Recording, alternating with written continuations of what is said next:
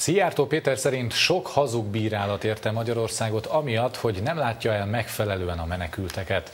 A külügyminiszter azt mondta, a bevándorlók megkapják a nemzetközi konvenciókban rögzített ellátásokat, de csak a befogadó állomásokon és menekültáborokban. A miniszter úgy látja, senki sem várhatja el az államtól, hogy például egy önkényesen elfoglalt közterületen lássa el az illegális bevándorlókat. Tehát olyan nem lesz a jövőben sem, hogyha valakik elfoglalnak egy közterületet, akkor mi oda visszük nekik a vizet, oda visszük az ennivalót, oda visszük nekik az orvost.